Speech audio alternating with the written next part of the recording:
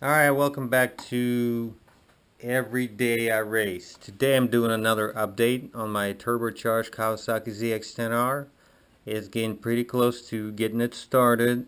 Hopefully it'll start, but you know, you probably will, but you never know.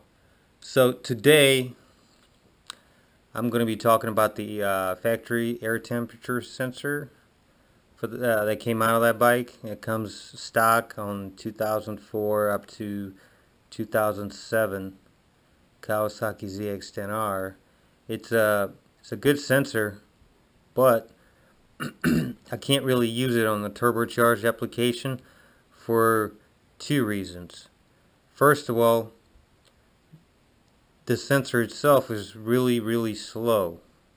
What I mean by that is that it doesn't react fast enough to temperature changes, which is okay for a naturally aspirated engine, but if you have any kind of forced induction, uh, the ECU needs to know exact temperature uh, because you know turbocharger or a supercharger uh, when it compresses air it hits the air up uh, when the air heats up, it doesn't have the same amount of oxygen, so it's less dense.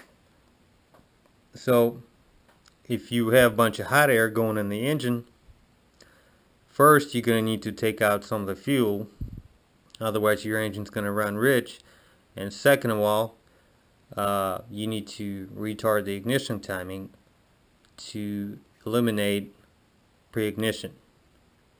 Because if you have pre-ignition in a force induction engine, it's not going to last very long. I can tell you that.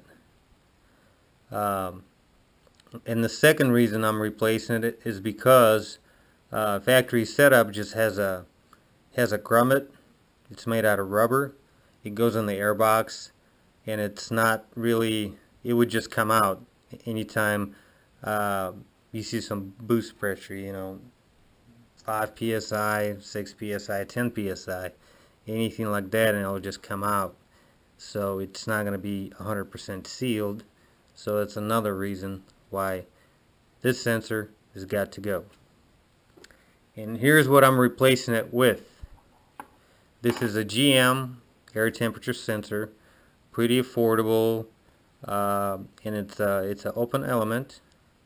As you can see, there's a tiny, tiny element in there, which, since it's smaller, it would react quicker to temperature changes. And that's exactly what I'm looking for. Uh, and you can see on this one, it's, it's a lot bigger. So it would take more time for it to react to temperature changes. So that's why I really don't like it. And uh, that's why this one's going in. And the second reason is you can already see it's got threads. I can thread it in my intake piping and it's not going to come out at 5 psi, 10 psi, 20 psi. Whatever pressure you put in, the sensor is not going to leak. And uh, it's going to work pretty good. Oh, and by the way, some some people ask me uh, when I make changes. This sensor is not a plug and play if you're using stock ECU. It has different resistance. So if you try to put it in with the stock ECU, it's gonna the ECU is gonna think it's either running too cold or too hot, so it's gonna be a mess. So it's what I'm going to do is I'm just going to cut the plug from my factory harness that connects to the sensor and I'm going to splice basically I'm going to solder uh, this wire and this wire to the uh, factory wiring. Then I'm going to put it in the pipe. This is my intake piping.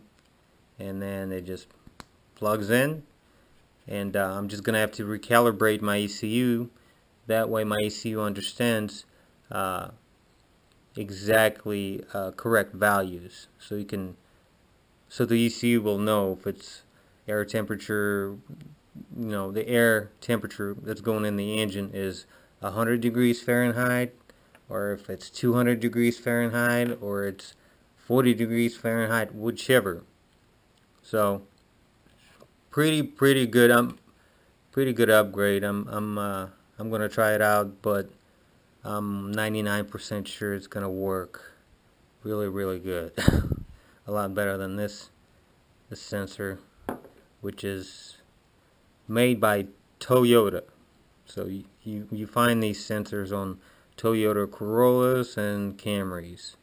So not exactly high performance car by any means so and uh, that's it for now. I'm gonna try to make a couple uh, more updates uh, with the bike.